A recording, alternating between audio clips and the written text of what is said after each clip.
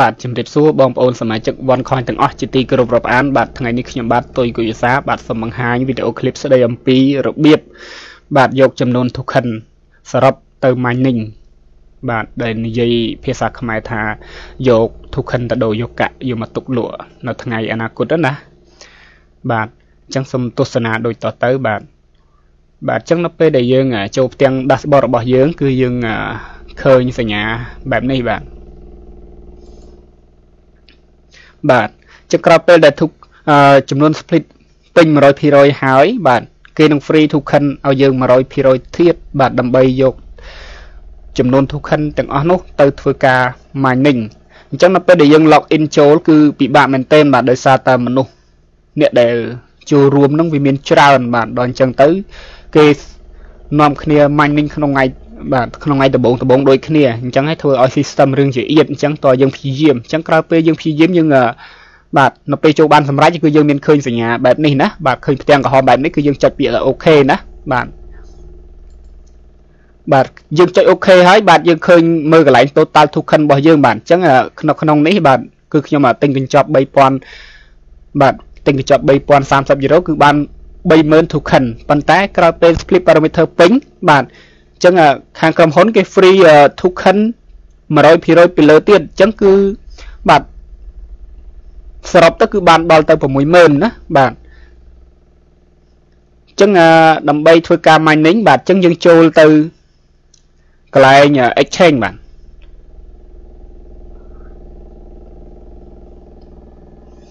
បាទអញ្ចឹងចូលទៅកន្លែង exchange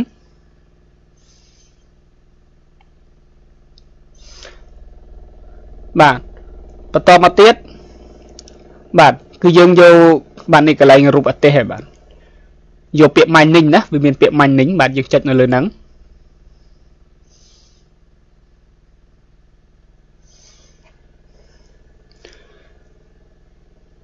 បាទបន្ទាប់ពីចុចបែបហ្នឹងហើយ បាទយើងមើលខាងខាងនេះបាទវាមានពាក្យ submit ណាបាទមានពាក្យ submit ប៉ុន្តែយើងអត់តន់ចុចនៅនឹងភ្លាមទេគឺយើងចុចនៅក្នុងប្រឡោះនេះ បាទចុចនៅក្នុងប្រឡោះនេះបាទមិញចំនួន token សរុបរបស់យើង គឺ60000អញ្ចឹងយើងវាយលេខ60000ចូលណាបាទសូមបញ្ជាក់ជូនផងដែរថាមើលកន្លែង total token ឃើញសរុបមានប្រមាណគឺយើងវាយចូលកន្លែងហ្នឹងទាំងអស់បាទ60000បាទបញ្ជាក់ឲ្យបានច្បាស់លាស់ បាទអញ្ចឹងក្រោយពេលយើងវាយចំនួន token បាទរួចហើយពិនិត្យឲ្យបានច្បាស់លាស់រួចហើយ គឺយើងយកពាក្យ submit បាទក្រោយពេលយើងចុចពាក្យ submit ហើយវាមាន បាទមានផ្ទាំងពីរបែបនេះណាបាទកន្លែងនេះអឺបាទយើងមិនចាប់អារម្មណ៍ទេ បាទអាហ្នឹងគេចង់មានន័យថាយើងដំឡើងអា coin sale បាទចង់មានន័យយកយក coin ទៅសន្សំណា ចឹងយើងមើលខាងក្រោយនេះណាបាទវាមានពាក្យ submit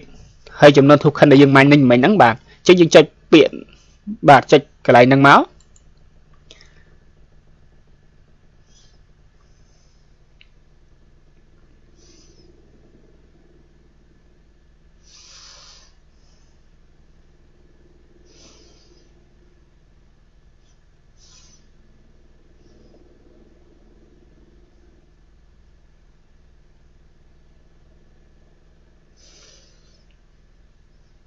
បាទអញ្ចឹងយើងរងចាំបន្តិចបាទអញ្ចឹងមានការយឺតយ៉ាវ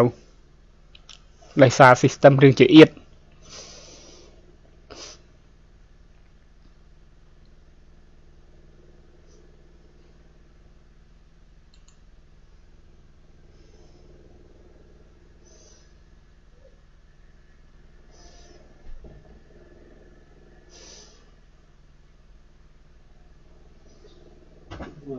នៅឯម៉ាញ់នេះ នៅឯងមិននេះទៅ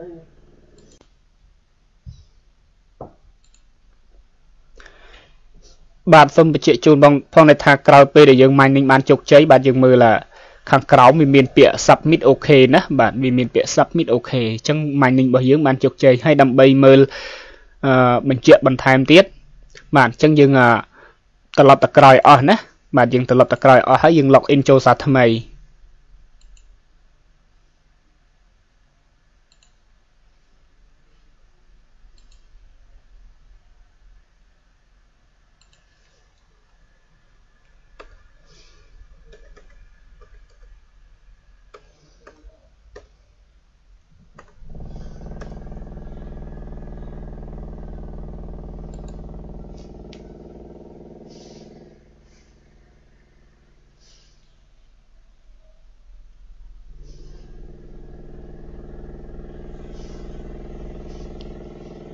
បាទពិបាក log in មែនទែនបាទដោយសារតែបាទប្រព័ន្ធជាអៀតអ្នកចូលរួមនឹងច្រើន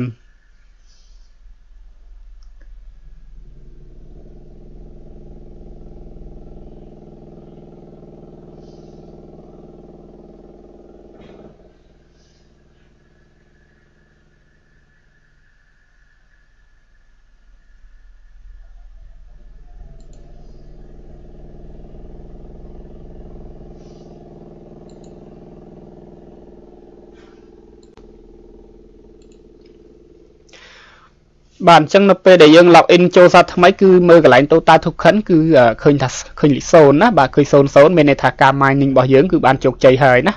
បាទហើយយើងអាចចូលទៅមើលកន្លែង exchange បន្តទៀតបាន